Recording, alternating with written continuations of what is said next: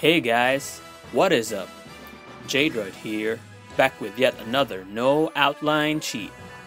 And since you asked for it, you will definitely get it. Today, I'll be sharing with you both the no outline cheat codes for Pokemon Ultra Sun and Ultra Moon. What can these codes do, you say? Well, it just simply removes the black edges of the characters of your Pokemon game, making it look smooth and realistic.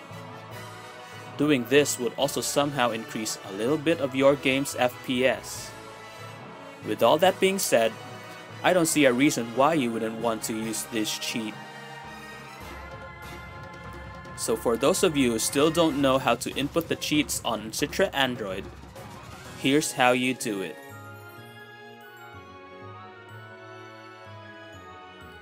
While at the game menu, you just have to long press the title of the game that you want to input the cheats with. Just like that. Okay? Let me do that again. Long press the game title. Just like that. Got it? Good. And from there, you just have to copy and paste the codes and hit save.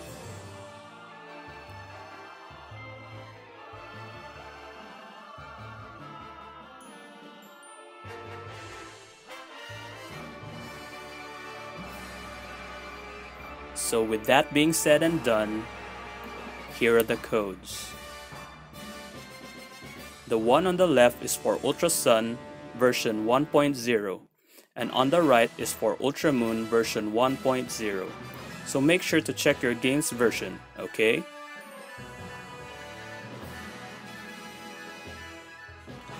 And these are the codes for version 1.2. I'll be placing these on the description box so you can just copy and paste them easily to your game. If you combine this with the 60 FPS codes, you'll have better performance. So that's it guys. I hope that this video was somewhat helpful to you. I would really appreciate it if you hit the like button and subscribe to my channel. This is Jdroid Emulation, signing off.